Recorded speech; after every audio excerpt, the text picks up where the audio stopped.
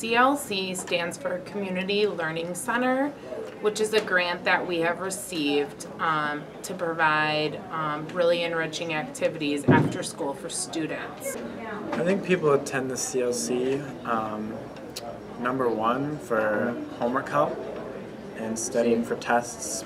Um, students come during their study halls or uh, during lunchtime even to kind of um, get information that they need to complete their homework that maybe the teacher, um, you know, we know teachers work super hard to get knowledge to every student, but a lot of times there is that need for a little extra tutoring, and that is um, what we provide.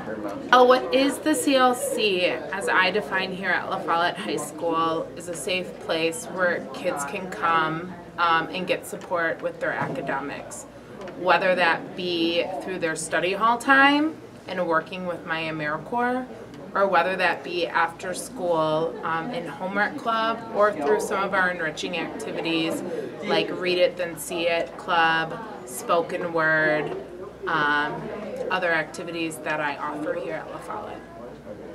In addition to the homework aspect, I think we provide a very welcoming, respectful, um, warm feeling that students really appreciate. Um, we do give them a snack when they work up there if they need that. Um, treat them uh, basically the way um, we would want to be treated. I'm here during the school day. I tutor mostly literacy and algebra, a few other things. Um, and then after school, I do a lot of tutoring in the homework club, but I also run a couple clubs called Project Unify and Energizer activities. What I expect of my staff and myself is to create a really welcoming environment that helps them with their social emotional learning as well as their academics. Um, so I really feel strongly that um, my staff and myself really connect with students on a deeper level and really get to know them um, and know their strengths and their weaknesses so we're able to support them in their future goals.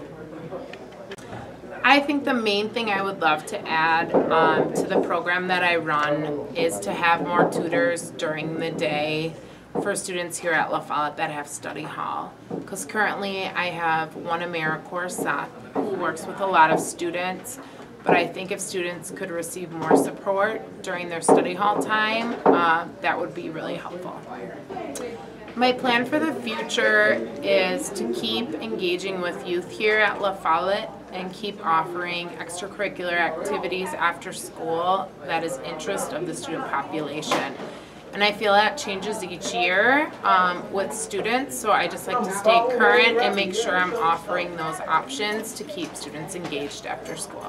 I just would like to uh, give a shout out um, to any students that um, don't feel connected to anyone in the school to just kind of maybe come up for lunch one day and hang out and we try to just go around to all the tables and check in and meet you and um, yeah if you're if you are in a study hall and you're struggling in a class if the content isn't making sense just to reach out. Reach out to us. Come up. We're in the back of the library.